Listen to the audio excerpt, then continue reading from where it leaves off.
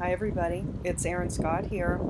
So we're going to take a look at the annual cycle, the themes that are activated for this year ahead naturally. And you are looking at a scene, this video here of spring.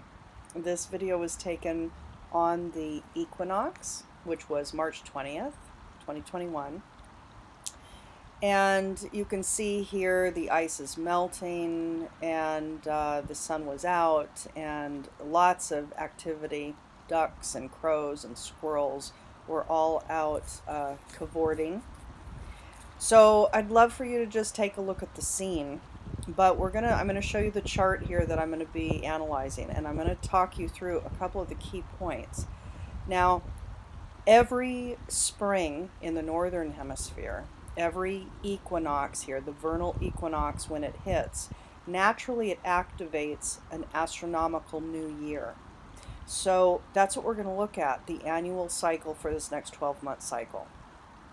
Energetically, what are the natural embedded themes which are naturally activated by the planetary placements and the relationships between those planets? Okay, so the first thing that I'm going to take a note of here, excuse me, is the sun is conjunct Chiron. So the sun as it entered Aries is conjunct Chiron at 8 degrees. And that sun Chiron conjunction is also with Ceres. So sun Chiron Ceres are all together there in Aries, bringing about some energetics and trining the south node of the moon in Sagittarius and sextiling the north node of the moon. So there's a lot to unpack there. One is that the natural focus for you, your energetics, your persona, your decision making, your action, and your viewpoint. How are you perceiving things? How are you perceiving yourself, relationships, your career, your family, life in general? It is going to be connected to wanting to heal. That Chiron on the sun desires to heal, to activate your own healing. Now, for some of you, this is going to be your own body's healing. For others of you, this is going to be um, uh, healing of your, your life in general, your decisions, your patterns perhaps, but your, your decision making, how you're seeing things. Uh, what are you basing your actions upon? What is feeding the information that is driving your action set? So there's a desire to heal aspects of you. There's also a desire to heal aspects of your confidence. So a lot of you are going to be wanting to seek to heal your confidence, your sense of self, your construct of self. Okay? Now, for some of you, you are going to have to contend with some illness this year. And please note that that, whatever might arise for you, is connected by harmonic trine to the south node in Sagittarius. So there's belief systems that are in the background for you that are driving certain activations, let's say, within the body system. So if health issues do arise, understand that it's predicated upon belief systems and constructs of reality that are driving certain manifestations and certain lifestyle choices that you're making. Ceres that's also with the Sun and Chiron is speaking to uh, a, a flow with regards to a certain energetic flow as it relates to number one, wanting to heal yourself, two, wanting to develop a new sense of self, a new sense of confidence, and three, wanting to become the healer, wanting to become the teacher. Okay, so the, the Chiron on the sun with Ceres can instigate the new self, which is showing up not only wanting to heal the self more, but wanting to become the healed self in order to serve others in some way. So, how are you a skilled teacher and healer? And keep in mind, teacher and healer has many, many, many different masks many iterations, right?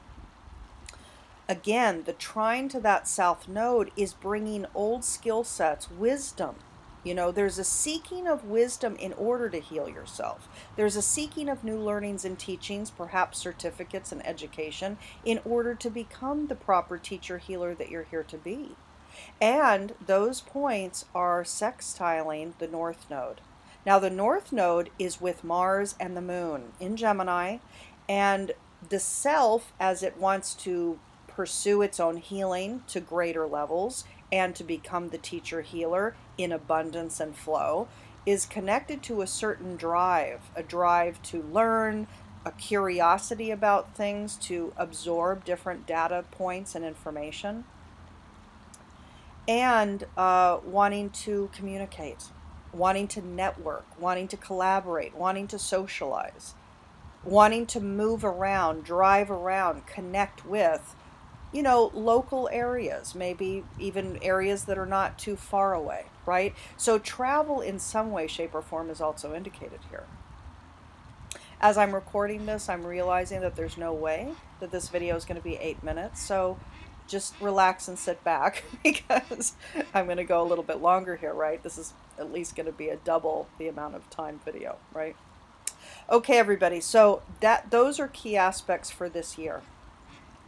Going on to the second house, Uranus is there in Taurus. Now we're looking, by the way, the chart that we're looking at here is the archetypal chart, Aries at the zero degree point, very appropriate, especially for this spring equinox point in the northern hemisphere. For those in the southern hemisphere, you know, this is your fall equinox, your autumnal equinox, your autumn equinox.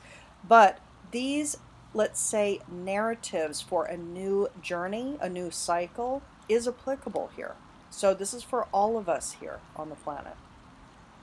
But Uranus in that second house in Taurus is talking about more revelations, more evolutions happening as it relates to your money, your things, your possessions, your stuff. For a lot of you, you might find that simplification, purging, cleansing, simplifying your life, you know, simplifying your diet, simplifying your food, evolving your food to a higher frequency food, a lot more, let's say, raw living foods, a lot more alkaline foods versus acidic, a simplification of your diet, a simplification of your possessions. So if you tend to have a lot of stuff in closets or storage, cleaning things out over the course of this year, and by the way, for the next several years, is in fact on par for what is naturally activated. Black and, and money. So diversification of income streams is also activated here. We also have in this particular archetypal chart, which by the way is correlated with Greenwich Mean Time. So we're looking at the prime meridian point here for the for the planet. Okay, um, but that Uranus is tr- is uh, trining the part of fortune, which in this chart is located at 12 degrees Virgo in that sixth house. So there's a harmonic correlation to a flow of energy and a bliss, actually, in putting energy into your work, being of service in a way that's meaningful, and for a lot of you, also attending to your health, your own health and well being, your own daily patterns. In other words, what is the lifestyle that is conducive to your own health and well being? That's trining Uranus. So there is an evolution with diet and health. There is an evolution with money and work.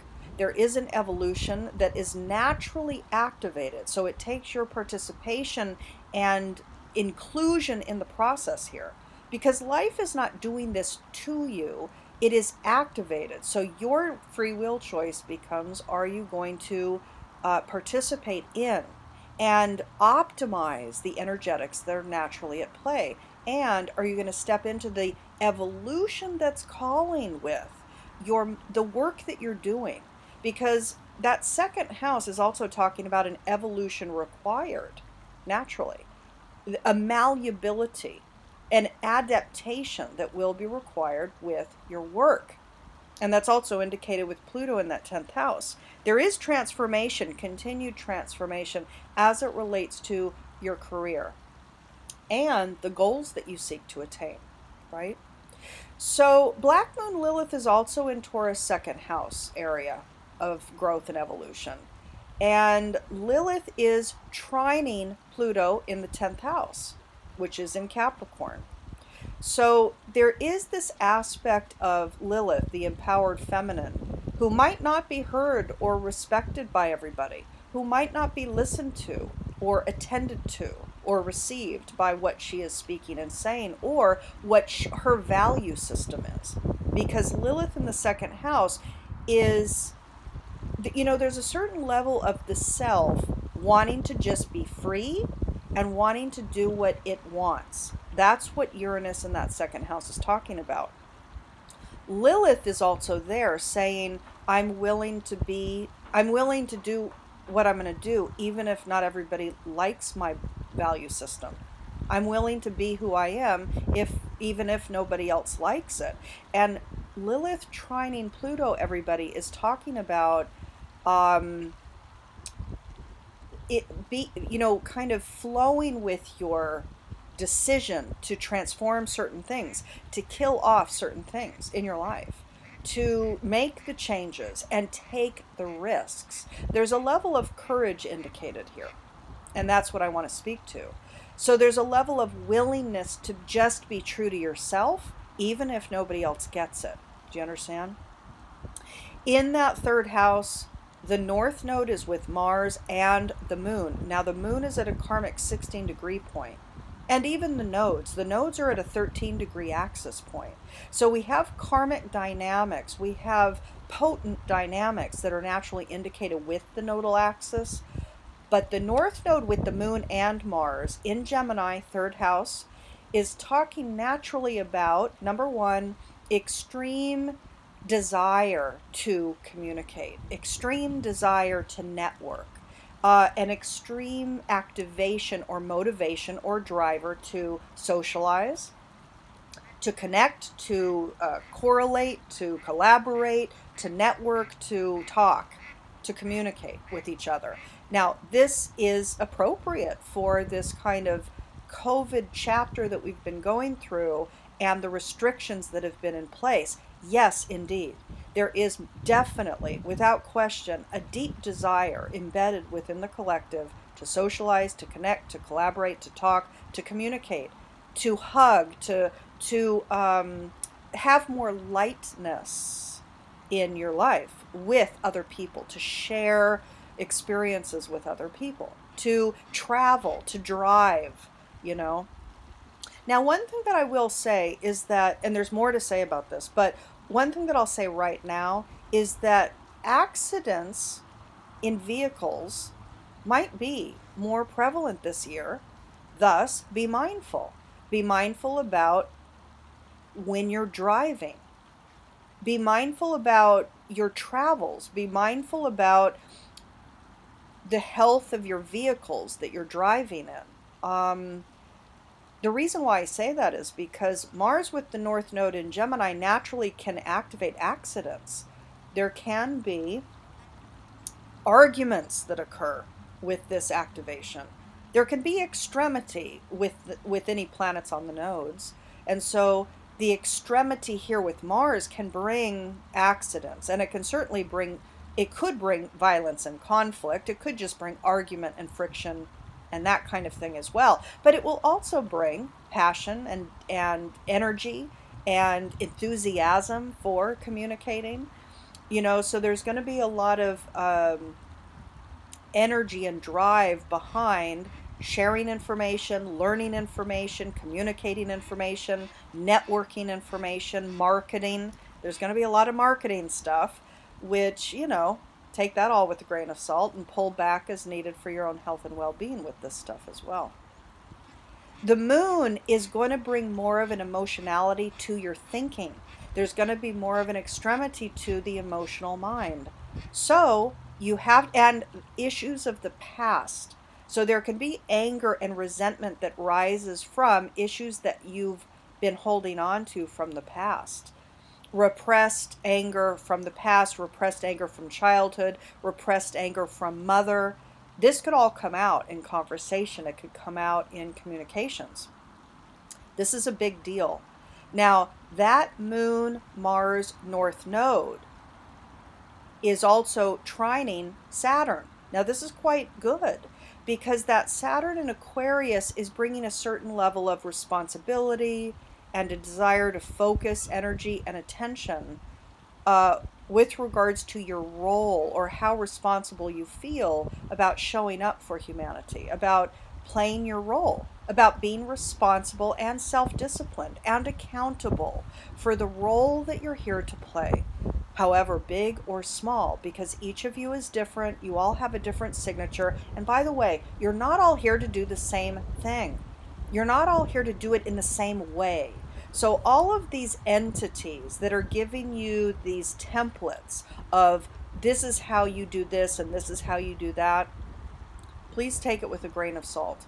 Take it with a grain of salt because marketing will be very, let's say, prevalent in the year ahead.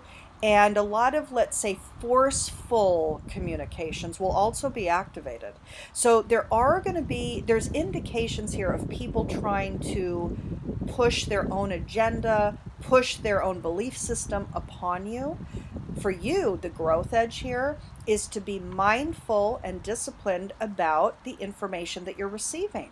In other words, vet the information and be mindful and accountable for your own anger, for your own response, and for your own emotional story that you're giving and that you're applying to whatever's happening. This is big, actually. Okay. Now, um, the the North Node Moon Mars is also squaring the part of fortune. Okay, so there's a big T square with the nodes and the part of fortune activated. Now, for a lot of people, what this is going to do is it's going to activate movement. It's going to activate taking decisions and actions upon certain things as it relates to bringing wisdom down and communicating it out to people and doing it in service. For a lot of people, this is going to be health related health of mind, health of body, health of spirit how the whole system can be made whole again, right? So there's a lot of impetus for action with regards to being of service in a way that creates healing for people, right? So that's naturally activated. That north node, moon, and Mars is also squaring Neptune, okay? So we have, and it's also squaring Mercury. So we have Mercury at 6 degrees Pisces and we have Neptune at 20 degrees Pisces, right? So those two points are going to be squaring this particular stellium here with that north node. So, at, you know, issues of illusion and delusion and deception and fuzziness and confusion and um, ideations that you have or belief systems that you have about God or what life is really all about you know, there's going to be some assertions that people will take, there's going to be some assumptions that people will make about what they think they know, and people will be trying to push their agenda, push their assertions onto you. And again, this is this is your growth edge and this is your free will choice. You get to either drink it in blindly or you get to discern it and learn from it. So you take what works, you you discard the rest. Or you put it in the background until you can reflect on it later and see if it's a fit for you, etc., etc. Okay? um, yeah, South Node in that ninth house with Sagittarius is um, again about really getting clear on your own constructs of truth. This year, we're continuing this process of needing to let go of and evolve away from old, rigid, dogmatic beliefs, old, rigid, dogmatic constructs of truth. What do you believe is true? What is black and what is white to you? There are variations of truth. There are also certain absolutes. So you get to understand what is true for you and why you believe what you believe. Get clear on what your own beliefs are, everybody. For those of you that are that are willing, that are at the place in your life that are willing to understand your own stories. why you think the way you do. What are your own imprinted narratives within your own natal blueprint? This is um, a, a good time for you to connect, right? So, for those that want to learn more about the natal deep dive, which is an investment, but it's multi tiered and multi dimensional, then you can be in touch. But there's also the, uh, the natal analysis itself, too, which I highly, um, you know, I highly recommend because it's a foundational tool. So, for those that don't already know their own story, and what their evolutionary trajectories are with regards to the narratives that are encoded, you need to know that. You need to know it. It is a foundational tool. So if you don't get it from me, get it from a qualified person here that you trust. Okay? Now, Pluto, again, is in Capricorn still. Uh, in this particular signature, it's at 26 degrees Capricorn. It's activated in that 10th house. What that means collectively is that, yes, there's going to uh, be a continuation of transformations occurring with regards to governments, political systems, healthcare systems, educational systems, financial systems, civilization. We are on this kind of rounding out. The next few years, we're completing a very long process of Pluto going through Capricorn. And so there is continued destruction of old systems that is indeed playing out. And it's preparing us that destruction of the old is creating the compost for the new to arise. And indeed, we are starting to see the new arise, right? Because again, we have um, Saturn and Jupiter both in this Aquarian 11th house. So there is a new level of, um, well, there is continued boundary and limit, everybody, with regards to um, what's happening on the collective. This is part of the natural process, right? So we have Saturn in Aquarius, 11th house. Yes, there's more blocks, there's more obstacles that we're still living through this year. We still have it activated. So there will be more social distancing, there will be more. Um, containment and obstacle of free flow of interrelationship and intercommunication between each other. That is activated and it's continuing.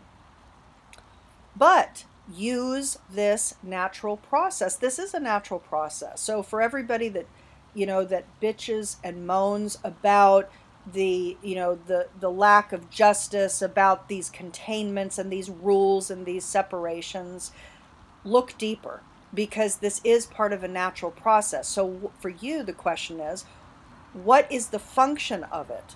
There's a function here, and there's a proper optimal use of this function. How can you use the isolation aspects that have been activated or the social distancing that has been naturally activated now?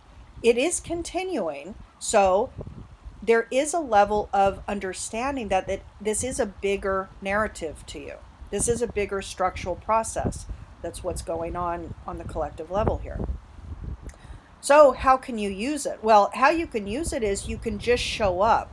You can show up in a responsible way to the collective, provide your skills and gifts. There's no need to be anything other than you are. You might be showing big stuff or little stuff in one way or another way. But you to be a, to play your own role. In other words, to be who you are. Your sole purpose here for each of you listening is to just be yourself, the truth of who you are. Not the limited, wounded version, but the one who has learned from the intrinsic patterns and signatures that you have and have evolved into your optimal self. Okay.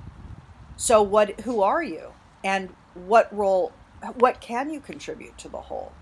That is an aspect here. Now, Jupiter is also here. And Jupiter is creating expansion. So, yes, there are some limits that are going to be continually activated for this next 12 month cycle. But guess what? There's also going to be new blossomings, new learnings, new groups, new connections, new joy. Um, there's also going to be learning groups, like a lot of people connecting in groups, learning together. Uh, you know, gathering together at, you know, spiritual retreats perhaps. And because that Jupiter is trining the moon, so Jupiter is trining the moon and the north node in that third house, there's definitively benefic communications and learnings coming from teaching groups. So a lot of people are going to be connected here. Now, will it be connection through technology? Yes, that is continuing, especially with Jupiter in Aquarius, which is ruled by Uranus, which rules technology. So, yes, there's going to be continued gatherings happening online. So, Zoom, right? There's a lot more Zoom calls to come. But it is all freeing up. It is going to open up everybody. So just, you know, relax with it, breathe into it, and utilize the isolatory chapters of this time for yourself to go deeper within because that's really the process here. If we look at the 12th house, we have Pallas Athena, Mercury, Neptune, and Venus all in Pisces, all in that 12th house the correlated house to Pisces. And this is about opportunity. Okay, there's an opportunity here, and there's a natural, uh, there's a natural process for you. You're going to have a natural desire to focus upon. Your mind is going to naturally be focused upon issues of uh, your soul structure, karmic processes, patterns, not only for you, but for humanity. You're going to be seeing things both personally and broadly, personally and collectively, individually and for the whole. So you're you're there's a natural mental association with connecting your own life process to the grander collective process, which is truth. So there's aspects of deeper dives here.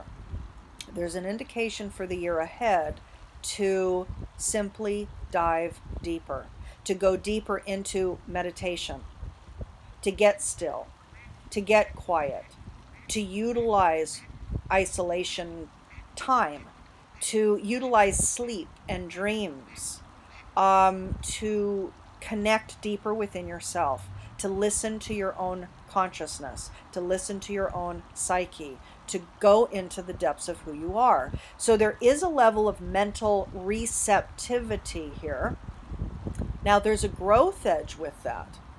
The mind, the Piscean mind, and I have Neptune conjunct my um, Mercury natally, so I can speak directly to this.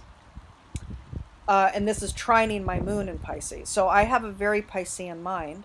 But what I can say is that there's a growth edge with this, right? So for all of you listening, for the signature for the year, this is a Piscean mind. So the great thing is there is more natural psychic activity activated for you. There's more of a sensitivity, an energetic sensitivity that you are interpreting this year. Okay? So you're able to sense information and also interpret what you're sensing from the environment, from the energy, from the consciousness, from the aura, from the energy. Okay? That being said, there can be illusion and delusion that can come into play that you're going to be called to learn to discern. In other words, what is real for you? There's very much distinctly, keep in mind, Mercury is a personal planet here. So you are going to be called as individuals, as individuals, to ascertain the deepest spiritual truth, not according to spiritual dogmas, but according to your own experiential phenomenon uh, phenomenon um, excuse me phenomenological learnings. So how what is your relationship to phenomenon? What is your understanding of your experience? That's what's activated. And for you to interpret that through the deeper lens through your own consciousness lens. This is the call to action. And there is, because Mercury is conjunct Pallas Athena, everybody, there is an aspect here that speaks to um, confidence that Now, for some of you, this is going to be kind of an unconscious skill set for you. It's almost like it's happening under the surface and you're not quite connecting the dots about maybe why. You're feeling a certain thing, you're interpreting something, why you're having certain even insights and revelations. But for others of you that are naturally more connected to the unconscious state and your own unconsciousness, the level at which you operate underneath the surface, for you, for some of you, it's easy to go there. It's easy to dive into that place and to and to operate from that place. For others of you it's it's more difficult and for others of you that are more air and fire composed, you know, you might have a you might be contending more with issues of deception or delusion. You might feel a little confused or or crazy at times in this year.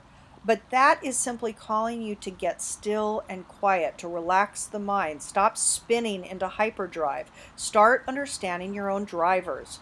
That north node with Mars and the moon in that third house is asking you to evolve your action set, to evolve your fire, your anger, your response, your mental anger, your emotional reactivity.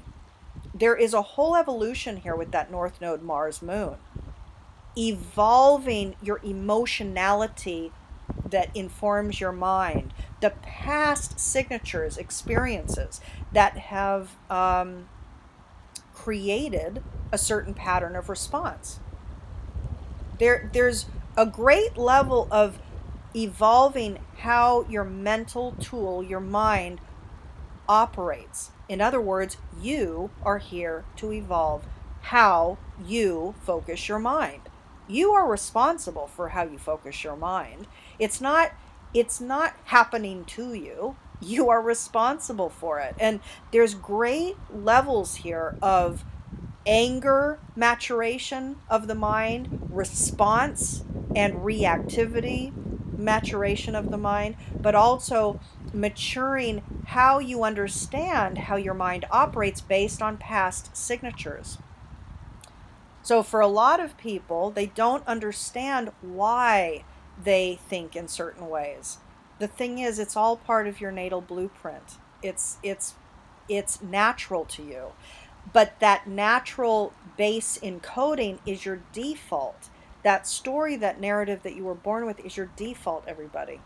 You're here to grow and evolve that narrative into the highest iteration of it, to evolve it, to grow it, to mature it. Each function that you hold within your natal blueprint is here to be evolved, and you are the one to evolve it. That is your free will choice, right? So this year, it is going to be a more Piscean mind year. A lot of people are going to seek more stillness, more quiet. They're going to seek more meditation and more sleep. There might be more rest indicated here, especially with Chiron on the sun in the first house. Some of your energies might feel depleted this year as you navigate this process. And indeed, more sleep, more quiet, more stillness, more isolation, more withdrawal in some ways, um, more sound for a lot of you sound, frequency, chimes, gongs, water, fountains. Uh, being out in nature with rivers, oceans, water, you know, areas of water.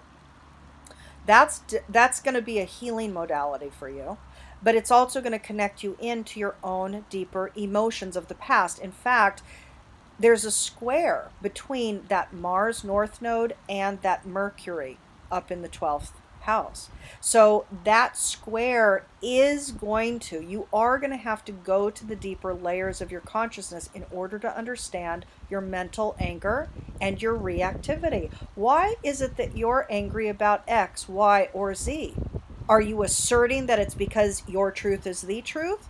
Well, ain't the truth. So you're going to have to go deeper there because there's more to unpack, there's more to dig up. You have to understand that you are reacting because of your associations with things. You are applying certain judgments upon people and situations that not everybody does. And there's a reason for that. You have to own it.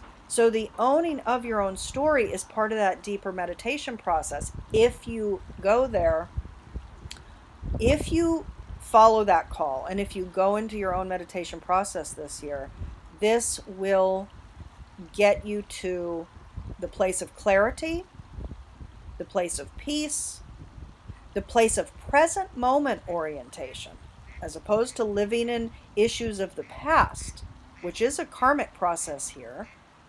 There's also the aspect of um, getting present moment oriented. That 16 degree moon, by the way, in that third house, Gemini with that north node, there's also a need to evolve your desires. In other words, what are you taking action on? Are you taking action on the truth of your desires or the desires that you're um, that you imbibed from your mother or your father when you were growing up? Who whose desires are you taking action on? That's another aspect here, everybody. So, and there's also this karmic need to kind of um, collaborate. So, teamwork and collaboration is also part of the growth edge here. Um, but Neptune and Venus, you know, there's also going to be this very kind of um, love, compassionate, and empathy narrative playing out this year. I'm aware that this video has gone long, but that's just what it is. There's a lot to talk about here. And I, I was fearful of that. I knew it was going to be much longer than I wanted it to go. So thanks for listening, everybody. So yeah, Venus, Neptune. This is the last thing we're going to talk about. So that conjunction, 20 degree Neptune and 28 degree Venus, connected in 12th house Pisces, is talking about a couple of different things here. One is that there is going to be this kind of unconscious process occurring for all of you and collectively that does value spirituality at a new level this year. So now for some people, what that's going to look like is people diving into religious dogmatic things. So stuff from the past in other words. Like some people could be reverting back to religions that they grew up with some people could be adopt, you know, could be reborn or adopting new religions. You know, there can be new imaginal religions that people are going to be glomming onto. It's a possibility. So that's kind of happening in the background. But for other people, it's not going to be glomming onto, let's say, certain philosophy sets or religious um, aspects or religious um, categories uh, for other people, it's going to be a valuing of consciousness itself, of life itself, of the mystery inherent in it, and a willing willingness to understand that we can't know everything, we don't know everything, and there can be for some people this year an ease with that. That I'm okay understanding the order of life, the organizing principles of living systems, but I'm also okay knowing that it's not all to be understood. We cannot understand it all. Humans tend to need to, um, you know, to uh, segment things out, to partition things out, to attempt to understand things. And this has its function, right? That's what we do because studying the parts does bring us information about the whole inherently. Parts always hold the whole in them but you can never really understand the great mystery. And so there is a level of a certain appreciation that can be gleaned, can be activated within a lot of people this year. Neptune Venus definitely does also talk about deception as it relates to lovability.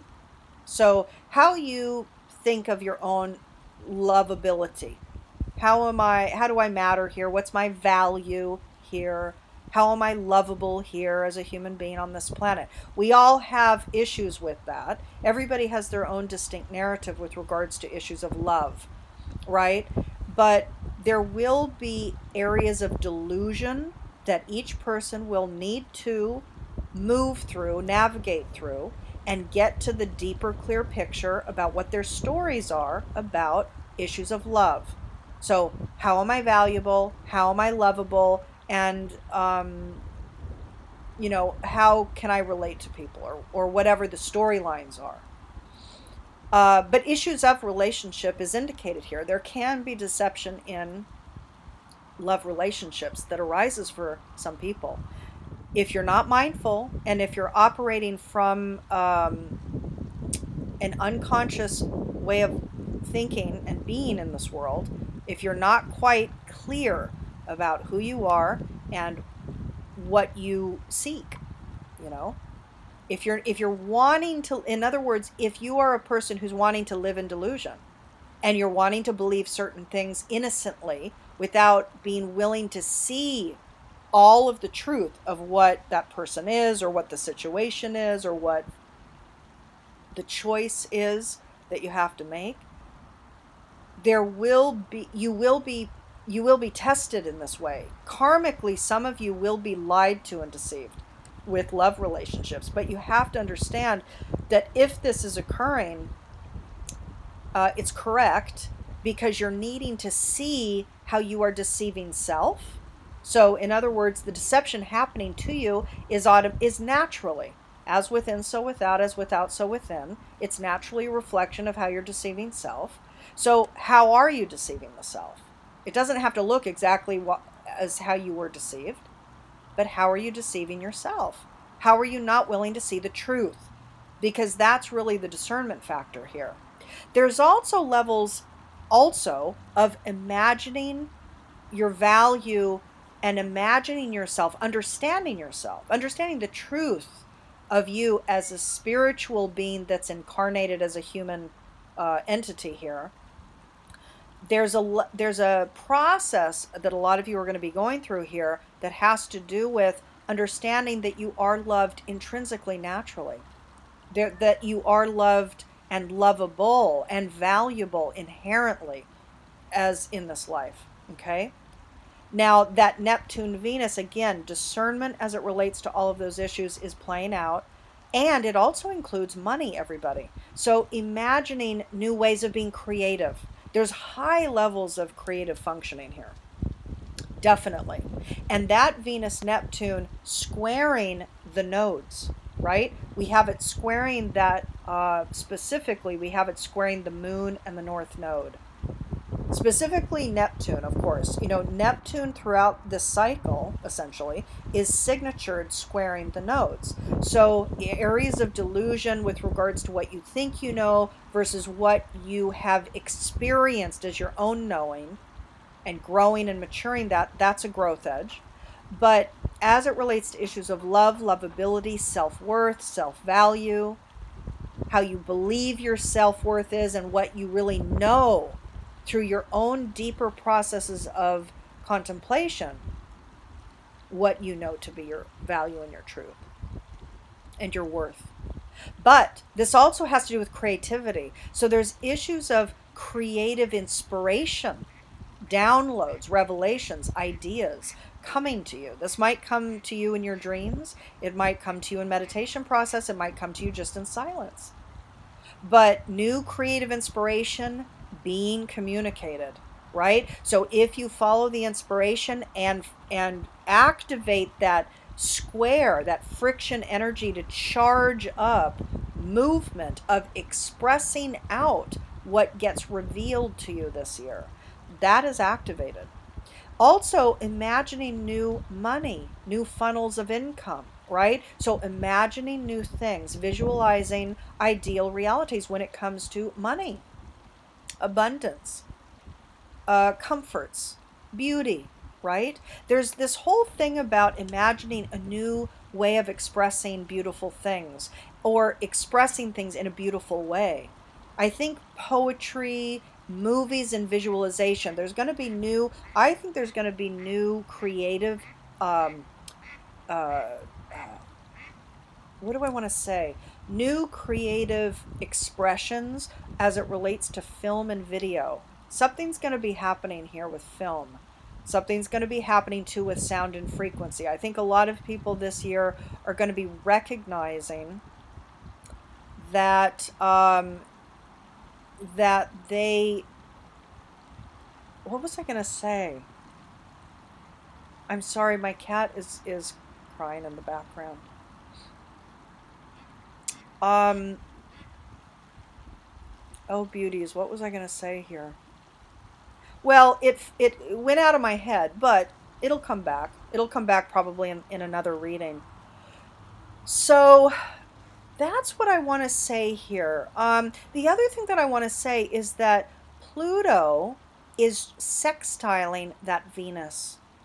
Pluto is also sextiling that Neptune. And what and this is Pluto in the 10th house of your career and the goals for achievement. So a lot of you are going to seek to change and become a transformative agent, right? Pluto, 10th house, the desire to achieve, to become, to embody your own power as a transformational agent in your career. And this is sextiling. It's in a harmonic correlation to that Neptune Venus in the 12th. Insights, revelations, downloads, deeper understandings of things um, as it relates to creative efforts, visualizations, storytelling, video, film, pictures, photography, uh, sound, frequency, music, even voice, right? Um, is connected to this powerful expression. So, a lot of you are going to find that there are new creative emanations coming out through you with regards to your career. Okay. I'm going to leave it there, everybody. I hope you have a wonderful um, uh, rest of your weekend. For those of you that watch it now, week ahead, but also sending you love for the cycle, for the annual cycle ahead as well. Much love. Bye bye.